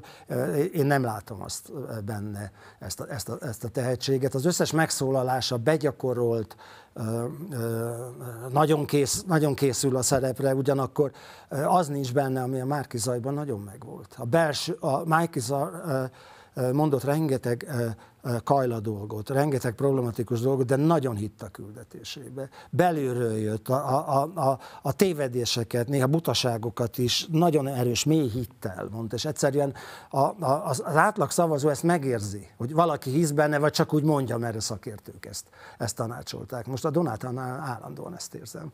és ezentúl nem érzem azt, hogy átgondolt stratégia lenne, valamit csinálni kell, hogy egyáltalán a szokott helyet, hát szokott helyet egy választáson volt, hogy azt elérjük, mert, mert különben fölöslegesé vált az egész, és nem, nem látok többet. Nem látok igazán többet benne, és egyáltalán az egész ellenzéki mezőn az, a főállításom az, amit a, a témakör elején említettem, hogy a, a zavar támadt a rendszerben, és az ellenzék, magyar ellenzék nem nagyon tudott ezzel mit kezdeni. És, és a, a helyzet, a zavar az egészen bizonyosan enyhült. Tehát, hogy, hogy, hogy ez megszűnt, ez a jövő titka. Tehát ez a következő évnek a titka. Orbán Viktor nagyon reménykedik, hogy újra magas nyomású lesz a gazdaság, és újra nagyon komoly növekedés lesz. És akkor, akkor, ha úgy tetszik, a zavar jelentős része elindul újra a reálbérnövekedés, továbbra is feszes munkaerőpiac lesz, az emberek munkaerő, munkahely változtatással, teljesítménytaktikázással tudják az érdekeiket érvényesíteni. Ne, egyáltalán nem biztos, hogy ez bekövetkezik vannak kételjeim ebben a dologban, jelentős kételjeim, hogy bekövetkezzenek, de, de, de a, a, az elmúlóban levő évhez képest egyértelműen javul, javuló tendenciát mutat rengeteg, rengeteg dolog. Hogyha ezzel nem tudott mit kezdeni az ellenzék, mit tud kezdeni azzal, ami, ami számára egy nehezebb időszak lesz. A magyar baloldalnak az egyik nagy problémája, és ez igen nagy rész nem a vezetőkből származik, hanem magából a közönségből, hogy messziről kell kezdeni. A Fidesz folyamatosan szűkíti a baloldal mozgásterét. Kulturális területeket ragad el, újra és újra egyre szűkebb területre szorítja a baloldalt, és a legfontosabb, a fontosság tudatát veszi el a baloldali embereknek. A baloldali értelmiség annak idején még Kádár János korában úgy készült, hogy ő érti ezt az országot, ővé a jövő, a nagy generáció. És a nagy generációt így pöcköli le. Szinte naponta véres húsdoboda. És a, a baloldali értelmiség ugyanúgy reagál már évtizedek óta, azonnal ugrik, fölháborodik, nyomul, egészen bizonyos, hogy a Fidesz tudatosan dobálja elé rendszeresen, szinte naponta a, a, a, a, a véres húst, és a baloldali értelmiség azt mondja, ezt nem lehet kibírni, itt azonnal meg kell buktatni és a, a, a Fideszt, és a, legkisebb mozgásban benne látja ezt, hogy na most, most már biztos, hogy megbukik a, a Fidesz. Nem akarok erős szavakat használni, de ez akár tetszik, akár nem a hisztériának bizonyos fokozatait jelenti. Vannak, vannak olyan újságíró barátaim, akiket 50 éve ismerek Tehát még a 80-as évek eleje, eleje óta, és mondom nekik, hogy a lapjuk az, az nem objektív, rengetegszer nem, nem a valóságot tükröz, és az, a válasz érdekes módon nem az, hogy, hogy tévedsz, hanem az, hogy abszolút igazad van de az olvasók ezt várják tőlem. Ez az internet egy életveszélyes dolog, tudni, hogy hányan klikkeltek a számra, és ha valami olyasmi cív van, hogy az Orbán katasztrófához vezet, és bukás lesz a vége, háromszor annyi klikkelés van, mint, mint egyébként. Tehát igen nagy részt alulról jön, ha úgy tetszik ez a dolog, és így aztán a baloldali politikának, ellenzéki politikának megvannak a ciklusai fölhorgadás, akciók, mi egyéb reménykedés, most már biztos, hogy győzünk, de legalább biztos, hogy nem lesz kétharmada a Fidesznek, aztán megint kétharmada lesz, sőt, ha úgy tetszik, még rosszabb az eredmény, mint ami korábban volt, gyászmunka, és kezdődik az egész előről. De akkor hadd kapcsolódjak ide a korrupciós tematikával, nagyon érdekel erről a véleménye. Ugye ez egy régi dilemma az ellenzéki térfélen, hogy a korrupció vágyával lehet-e a Fideszen fogást találni, vagy sem? Török Gábor, amikor ősszel adott egy életút interjút a számunkra, akkor azt mondta, hogy valójában ez egy olyan jól fölépített tematika, amit nem volna szabad elengedni az ellenzéknek, de közben be kéne látni azt, hogy önmagában ez nem elégséges. Ennek ellenére mégis azt lehet látni, hogy a legprominensebb, legelismertebb, legnépszerűbb ellenzéki politikusok, például Hatházi Ákos, mantra szerint igazából az antikorrupciós tematikára építi fel a saját politikáját. Ön hogy látja, mekkora még ebben egyáltalán a politikai mozgástér? Mit lehetne kezdeni az antikorrupciós tematika örökségével? Ha, ha, ha a Fidesz lehetőre kerül, ne, bármiért, ha ez a megmentő szerep eltűnne, Orbán Viktor a sikerének a főtitka szerintem az az, hogy ezer baj van a világban, és tényleg ezer baj van. A szomszédunkban szörnyű háború van, infláció pusztít, mindenütt pusztított infláció. Milyen nagyobb volt, de mindenütt pusztított. Tömörüljünk az zászló körül, ahogy az amerikaiak mondják. Tömörüljünk az erős ember mellett, aki megment és megvéd. Hogyha ez a, ez a szerep bármiért meggyengülne, ez akár halálos is lehet a Fideszre nézve, mármint a korrupció. Az, hogy a Fidesz, Fideszhez közel álló üzletemberek ilyen hosszú jaktal utaznak, mi egyebek, ez akár, akár megsemmisítő lehet mikor a Jobbik előjött azzal a plakáttal, hogy míg mi dolgozunk, addig ők lopnak, ez, ez életveszélyes volt. Volt egy nagyon régi kapcsolat a miniszterelnök és Simicska Lajos között. Már a, a, a, az osztályfőnökük szerint egy padban ültek a gimnáziumban, és szobatársak is voltak. Székesfehérváron? Székesfehérváron. És szobatársak is voltak a kollégium, és Azt mégis elindult, nem tudtuk. elindult, elindult a konfliktus közöttük pusztán ez a plakát, megsemmisítő konfliktus volt, ugye a, a, a Simicska Lajos, mint politikai tényező megszűnt Magyarországon, tehát ez életveszélyes lehet akkor, még egyszer mondom, hogyha egyébként és ez a megmentő szerep kiesik. Ugyanakkor, hogyha ez a megmentő szerep megvan, akkor a magyar közönség elnéző. A magyar közönség igen nagy részt a Kádár korszakban szocializálódott. Az én egyik legelső kutatásom kisvállalkozó, kisiparos, kisiparos érdekképviselet kutatás volt, és ott rögtön kiderült, hogy nem annyira a piaci eredményesség tesz sikeressé valakit. Szám, hanem, hanem hogy hogyan tud az adót elkerülni, hogyan tud lenyúlni, hogyan tud, hogyan tud ha úgy tetszik, korrupció mezőn, mezőn játszani a, a magyar közönség mélyen benne van. Tehát a loser az, aki a törvényes utat járja, az, az aki igazán sikeres lenni, az a kiskaput keresi, kapcsolatot épít, mi egyéb, és úgy épít föl mindent. És, és az államhoz köti a reményeit, és az államot első helyen, vagy sokat, vagy helyen lenyúlni az államot. Most a magyar közönségben milyen benne van, hogyha persze korrupt, magának gyűjt, én is magamnak gyűjtenék, de, de le is oszt. Tehát, hogyha ez működik, ez a rendszer, és már pedig működik, akkor ezt egyáltalán nem érzem erős fegyvernek. Uh-huh. Tehát ez életveszélyes lehet, ha meginog egyébként, ak- akkor, hogy mondjam, az irítség elem fog fölülkerekedni ebben a dologban, de mivel, mivel a magyar közönség jelentős része természetesnek tartja ezeket a dolgokat, ezért, ezért igazán erkölcsi ítéletet nehezen tud hozni erről a dologról, mert ő is részese ilyen játszmákban, irigykedni tud de az nem, nem elégséges arra, hogy er, erre önmagába stratégiát lehessen építeni. És ez hihetetlen mélyen benne van a, a magyar életvilágban.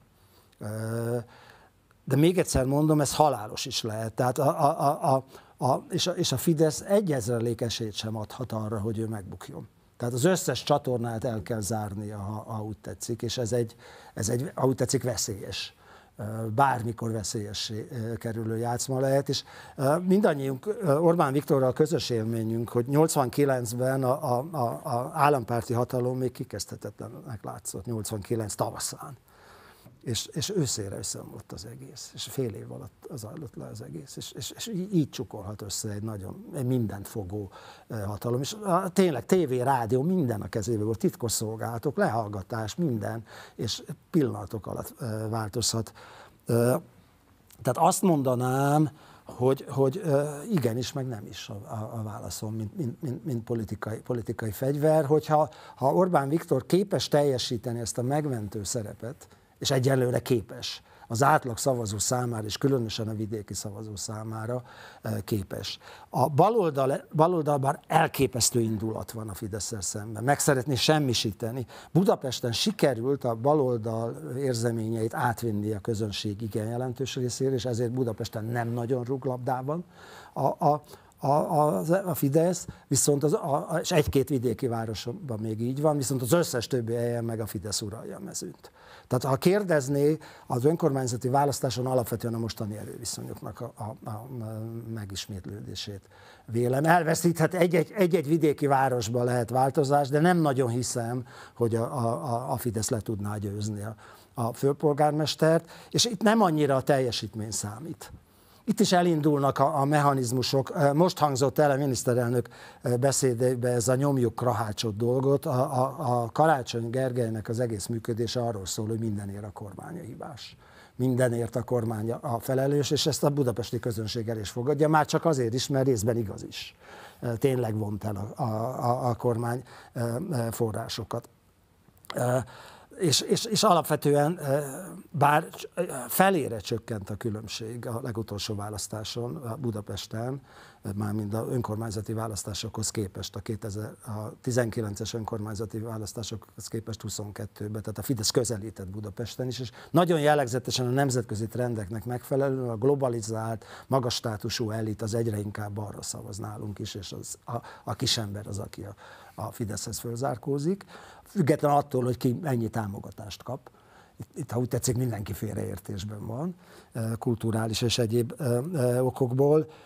Ugyanakkor egyáltalán nem érzem valóságosan sikeresnek Karácsony Gergelynek a városvezetői képességeit. Ha, ha van ember, ha úgy tetszik, ő az, az új baloldalnak a leginkább jelentős megjelenítője a magyar politikában, ami egyfelől jó, hogy van ilyen is, mert ez egy nagyon fontos nemzetközi trend, de, de, de meglátszik a működésében az összes problematikussága is. Olvastam egy remek amerikai elemzést a bicikliről, a városi bicikli közlekedés preferálásáról, és mi egyébként baloldali írta a, a tanulmányt, és azt mondja, hogy ez egy tipikus egyetemi osztálypolitika, hogy a fiatal, dinamikus, egyetemen fölnőtt, egyetemi világhoz gazdag elitek, akik bent laknak a városközpontból, nagyon drága ott lakni, annak a, annak a, a, a, a, a vágya ez a dolog, és az alsó középosztály ez kintről, távolabbról jön, Amerikában jóval rosszabb a tömegközlekedés, mint nálunk, ők autóval igyekeznek be, akár másfél-két órát is utazva, kétszer ugye oda és vissza is, tehát nagyon-nagyon vigyáznék történik ezzel a dologgal. Ez úgy tetszik a, a campus bal, új baloldalnak a, az ideája ez, hogy az autó az ciki, helyette, helyette tessék tömegközlekedni, meg tessék biciklizni.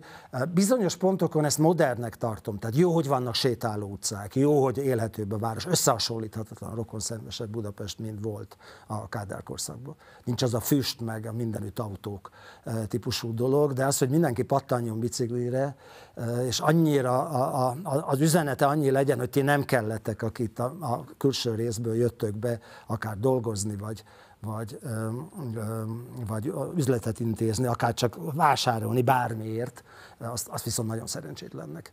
De mondjuk azért ebben az üzenetben Vitézi Dávid is osztozik meg azért alapvetően, amikor még Füriás Balázs meghatározó szereplője volt a kormánynak, akkor ő is maga is említette azt, hogy az elővárosi közlekedés az egész egyszerűen gyilkolja szó szerint egyébként a városban élőket, a pufog, kipufogó gáz kibocsátásokkal és így tovább. Ez... És emiatt érdekelne az, hogy bár azt mondja, hogy nincs igazából senki, aki veszélyeztetné Karácsony Gergely újrázását.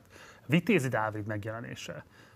Lehetséges, hogy pont annyit el fog vinni Karácsony Gergelytől, hogy egy közepesen jól teljesítő Fideszes jelölt képes lesz mondjuk mégiscsak nevető harmadikként behúzni a főpolgármesteri címet. Ez, ez nem lehetetlen, amit, amit, amit kérdezett a leghatározottabban, ezt gondolom.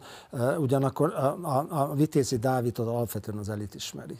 Tehát a, a szélesebb közönség alapvetően Karácsony Gergelyt ismer. És van még egy nagyon fontos dolog, hogy a magyar szavazók korábban nagyon szívesen szavaztak más pártra, és váltottak pártot, viszont a városvezetésnél soha. Tehát nem kellett jó teljesítmény ahhoz, hogy újra válasszanak valakit egy város esetében, vagy, vagy akár falu esetében, hanem egy gyenge közepes teljesítmény is elég volt. Demszki Gábor hát egyáltalán nem volt istene, ha úgy tetszik, a, a, a városvezetésnek, és, és 20 évig volt főpolgármester. Hm és ő is kapott sorra kihívót, meg, meg, meg, meg minden csoda, tehát vigyáznék ezzel a, vigyáznék ezzel a dologgal.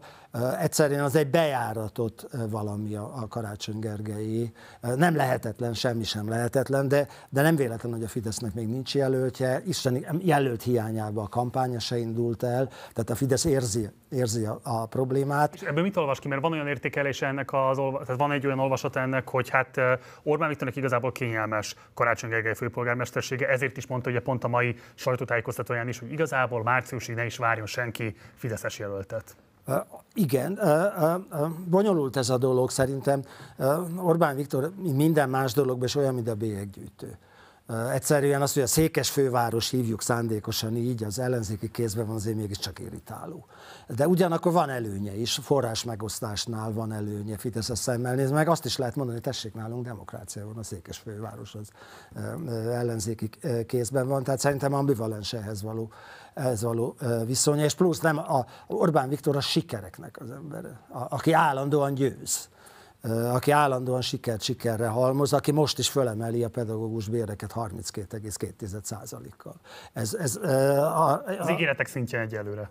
Január 1-re szól az ígéret, tehát nagyon hamar, nagyon hamar kiterül ez a dolog, hogy ez tényleges. A, a három évre szól a 800 ezer forintos átlagkereset, és a, rögtön a 32 százalék.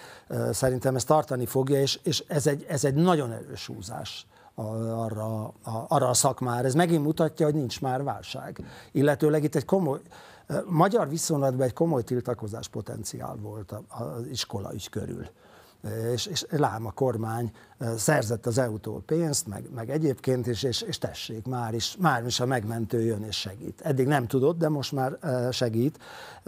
Nagyon komoly érdekek fűződnek hozzá, hogy ez, hogy ez teljesüljön. A, a, az első éves ígéret szerintem teljesülni is fog.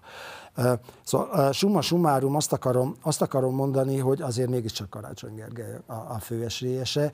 Egy ponton viszont nagyon meggyengülhet az a választási rendszer módosítás, ami egyébként mélyen beleillik a baloldali elképzelésekbe, hogy legyen egy arányos rendszer.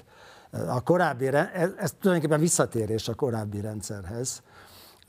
A korábbi rendszer a, a Fidesz többségét biztosította, hogy a kerületi polgármesterek legyenek a, a, a tagok. Igen. Előállíthatják azt a helyzetet, különösen ha bejön a két farkú kutyapárt, bejön a Mi Hazánk mozgalom, hogy a Karácsony Gergelynek nem lesz a testületbe többségét. Igen. Tehát ez, ez, ez, ez, való, ez valós vesz. Tehát az, hogy a karácsony veszít, azt nem tartom lehetetlennek, de nem tartom valószínűnek, ez viszont erősen valószínű. Hát ezért is nagyon ravasz ez a módosítás, mert gyakorlatilag azzal, hogy karácsony mögött nincsen érdemi pártámogatás, ezzel lehetővé teszi azt valóban, hogy egy rendkívül töredezett közgyűléseken kormányozni a... És, és a veszekedések, tehát lám, lám, lám, ezek nem csak Egerbe veszekednek, hanem Budapesten is. És...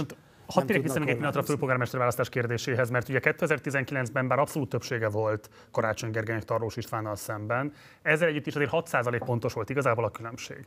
Tehát, hogyha Vitézi Dávidot mégiscsak elindítja az LNP, ugye erről szólnak most a hírek, nem kizárt, hogy azért egy 5-6%-os eredményt Vitézi Dávid képes leszállítani ebben a városban. Egy jó jelölt, aki a Fidesznek a kevésbé rokon szemes vonásait az ellenzéki közönség szemében nem hordozza magán, elégséges lehet-e ahhoz, hogy megfordítsák Budapest főpolgármesterének a személyét?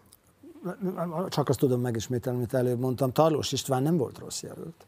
Tehát részint, részint volt már polgármester, komoly önkormányzati tapasztalattal rendelkezett, és ő, ő felé, ez a konzervatív vonás, ne változtass, ez ő felé hajlott. de hát a kora miatt alig, ha ő lesz a jelölt ebben a dologban. Nem is építették az elmúlt nem, Így van, őt. így van, úgyhogy, úgyhogy valami új jelölt lesz. Én inkább az előző verziót tartom hogy, hogy vigyáz, ezzel a, vigyáz ezzel a Fidesz, de, de Budapest föl fogja mutatni azt, vagy jobban föl fogja mutatni még az eddiginél is, hogy nem igazán kormányképes. A, az egyik titka a Fidesznek, hogy, hogy, hogy csak én vagyok a piacon. Vannak a múlt emberei, ugye Gyurcsány és a társai, és vannak az újak, akik, akik van, akit rendes embernek tartunk, milyen, milyen kedves, aranyos, nem bán senkit, csak nem kormányképes. Hm. Engem lehet, hogy nem szeretsz, de én tudok vezetni. Sokszorosan bizonyítottam, most adok 32% béremelést. A karácsony mennyit ad a BKV sofőröknek? Tehát ez, ez, ez folyamatosan ott van. Az, amit mond, az nem lehetetlen, de, de én ezt valószínűnek tartom.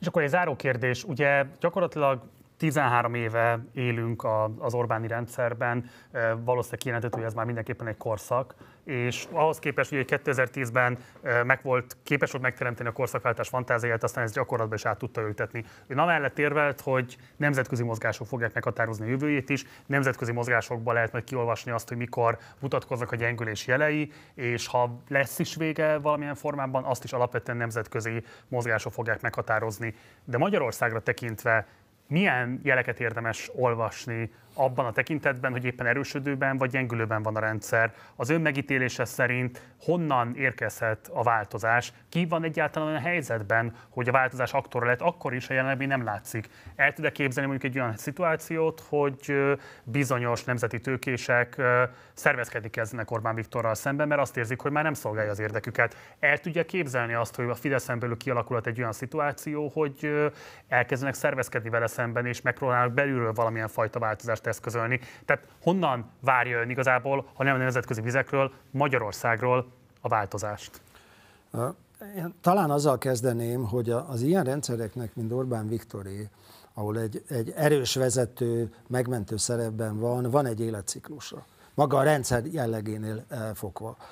A rendszer, általában valami komoly zavar van, mikor, mikor megszületik ez a rendszer. Ahogy a Napóleon mondta, hogy a sárból emelte föl ő a koronát. Tényleg Franciaországban káosz volt, jön az erős vezető, és rengeteg meg, létező problémát megold. Most ez, ez, ez Orbán Viktorra nagyon áll. Tehát a káosz rendszere volt, lemaradó ország volt, alacsony foglalkoztatottsággal, rosszul működő adórendszerrel, mi egyébbel, rengeteg problémát megoldott. A, csak hogy e, az ilyen rendszerekben kevés a visszacsatolás. A, a, a, a vezér egyre följebb megy, mint ahogy a nap nappal megy, megy nyáron egészen magasra fölemelkedik, és aztán egyre inkább olyan emberek kerülnek, a, a tehetség helyett a lojálisok kerülnek előtérbe. A vezér azt mondja, hogy ebbe az irányba kell menni, és akkor hajrá előre. Nincs, aki, nincs, aki korrekciót csinálna. Az óriási sikerek tesznek még inkább elbizakodottá. Az ilyen rendszerekben például a piac leértékelődik. Nem beszéltünk gazdaságról, lehetett volna. A, a, a piacot nem sokra becsüli Orbán Viktor, és azt gondolja, hogy előre látja, és a piaci megoldásokba se nagyon bízik. Itt van például a gázárnak a, a, a gáznak az ügye.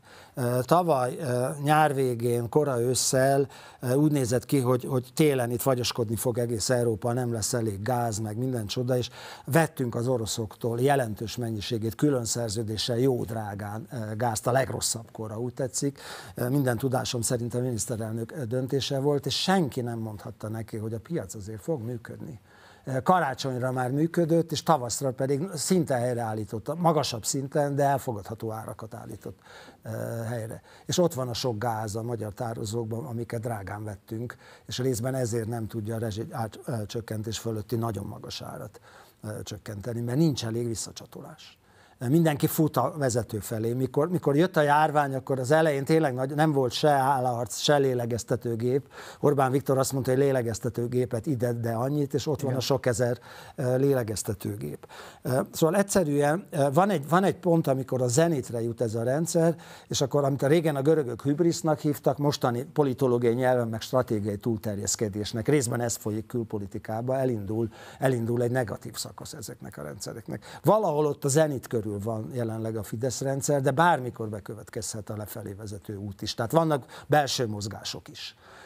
Mégis vigyáznék ezzel, egyszerűen a magyar történelem azt mutatja, hogy az igazán jelen, a, a, nem, a, magyar, a, a tény, hogy a magyar a hadsereg, a magyar katonák hősiesen harcoltak az első világháborúban. Tény, hogy német segítségért a környéken mindenkit legyőztük, Oroszországot is legyőztük. Magyarország sorsa, és ami utána következett, az Flandriába dőlt el, és döntően azzal, hogy az Egyesült Államok 4-5 millió katonát küldött és legyőzte a német hadsereget. Ott magyarok lényegében nem harcoltak. A, a, a második világháború hagy ne veszélyek, és 89-et sem az itthoni mozgás döntött el. Az egy világméretű mozgásnak volt a része, ennyit mondani. Persze, annak voltak Magyarországon megjelenő jelei. Ezeket én baloldali fantáziálásnak tartom, hogy itt a Fideszben mozgás, nagy tőkés csoportok. Alapvetően ezek a csoportok éreznek sokszor kételyt, határozottan magam is érzékelem, de nem többet. Orbán Viktor újra és újra igazolja, hogy fölül tud kerekedni, még válságos helyzeteken. És épp az elmúlt év az pont ilyen volt. És erről beszéltünk, hogy leszakított az Unióból minden fogcsikorgatás ellenére 3900 ezer, ezer millió forintot. Ennyi, ennyi az a 10 milliárd euró. Elképesztő össze. Csillagászati a szám. A hétköznapi ember föl se tudja fogni ezt a dolgot. Tehát egyenlőre ez nincsen, és őszintén szólva én a mai ellenzékben nem is látok a, a 20. századi magyar történelem tipikusan azt mutatja, hogy nem az történik, hogy az ellenzék összekapja magát és csut legyőzi a, a regnáló hatalmat, hanem valami nemzetközi mozgás ezt, ezt lejtőre teszi, és aztán új szereplők jelentkeznek meg. Vannak köztük régiek is, de vannak köztük teljesen újak, akikről alig tudta a világ, hogy léteznek. 89-ben nem a régi ellenzéki értelmiség mi egyéb volt a döntő, hanem olyan emberek, mint Antal József, akiről azt se tudta Magyarország, hogy létezik. 88-ban, mármint az átlag magyar. Orbán Viktor 88 előtt ugye még, még, még szinte kiskorú volt. És még mások is, akár jó magam is, azt se tudta az ország, hogy létezünk. Tehát, hogyha elindul egy olyan mozgás, amivel ha úgymond kitelt az Orbán rendszer ideje, akkor, akkor, akkor, akkor, akkor bármi történhet. Csak hogy. Csak hogy. És ez egy nagyon fontos dolog. A, a, a, a TISZA rendszer egy nagyon stabil, örökkévaló rendszernek számított. A saját hangján mondja el, van az a híres film, a Vörös Gorófnő, annak az elején Károly Andrási Katinka, hogy, hogy a Ferenc Józsefi rendszer meg a TISZA rendszer örökkévalónak tűnt. És aztán utána utána összeomlott. A nagy kérdés az, hogyha egy ilyen örökké valónak tűnő rendszer ö, ö, megszűnik bármiért, de döntően külföldi ö, okok miatt, akkor jön-e utána valami jó? Van-e valami felkészült ellenzék? Vannak, vannak jelentkeznek-e olyan szereplők, akik legalább hosszabb, rövidebb időre képesek csinálni? Most a, a, a Károlyi féle ellenzék erre nem volt képes. Volt néhány hónap dáridó, és aztán összeomlás, és káosz, az ahogy Gömbös Gyula mondta, a Gersli eh, forradalma volt az egész, ugye a pót, pót bab forradalma volt, és eh, Lukács György írta Bécsbe visszavonulva már Budapestről, hogy miért nem harcoltunk, sokan kérdezték ott Budapest utcáin a román hadsereggel szemben, mert a, mert a Csepeli munkás se akarta már akkor a kommunt.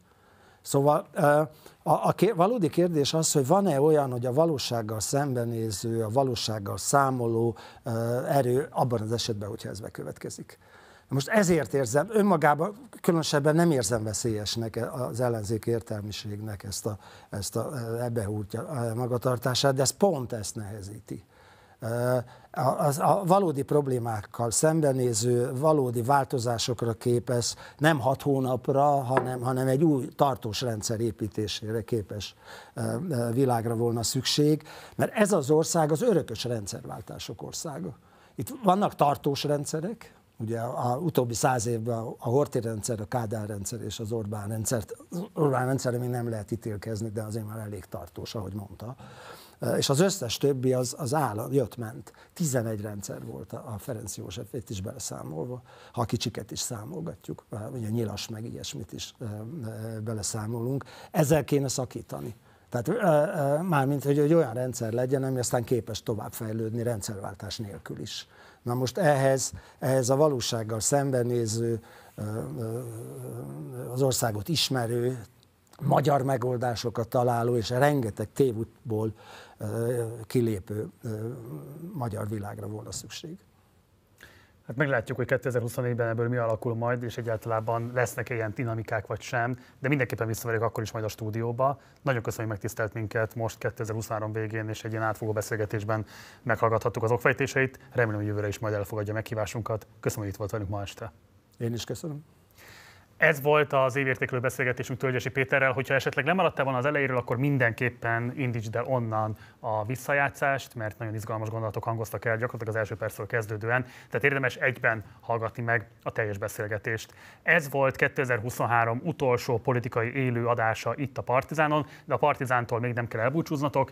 Először is holnap reggel érkezik a péntek reggel, vagyis a Partizán hírháttér szolgáltatása. Ezúttal a beigli infláció kérdésével fogunk majd foglalkozni. Ez pontosan mit jelent, ez kiderül, ha feliratkozol a leírásban található linken keresztül magára a szolgáltatásra, és akkor reggel, péntek reggel megkapod a hírlevelünket, a podcastunkat, illetve a videónkat, ami a témát járja körbe. Péntek este érkezik Jakab a legújabb monoszkóp terepmunkájával, amelyben ezúttal a Kaláka együttes kísérte végig. Egy rendkívül izgalmas videó ez, úgyhogy mindenképpen azt is időzítsétek majd be a tartalomfogyasztási kosaratokba. Ezután pedig december 25-én érkezik majd a Partizán évzáró adása, hogy pontosan milyen tematikával és mivel is készültünk a számotokra, az a következő napokban fog kiderülni, hogy érdemes lesz majd követni a különböző social média felületeinket is. Én itt 2023-ban egyetlen egy dolgot szeretnék még kvázi évzárás vagy évértékelés gyanánt megemlíteni. A Partizán életében a legfontosabb esemény nem más volt, mint az 1%-os kampányunk, amelyben az SZIA 1%-okat gyűjthettük, és ami minden képzeletünket fölülmúlóan sikeresen zárult. 21.122 ember döntött úgy, hogy a Partizánnak adja az adója 1%-át. Mindenkinek, aki így döntött, köszönöm szépen, hogy mellénk álltatok, köszönöm szépen a támogatásotokat, köszönöm, hogy Magyarország legnagyobb közfinanszírozott médiumává tettétek a Partizánt.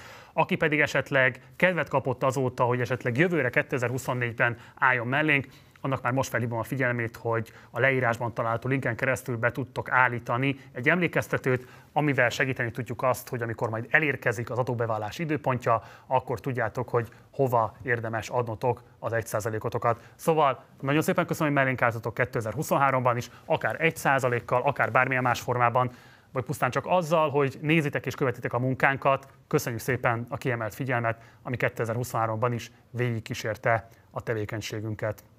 Úgyhogy nem marad más hátra, mint a 2023-ban utoljára munkatársaim nevében megköszönjem a megtisztelő figyelmeteket. Találkozunk 2024-ben. Én Gulyás Márton voltam Budapestről. Jó éjszakát, kellemes ünnepeket, jó pihenést és minden jót kívánok. Ciao.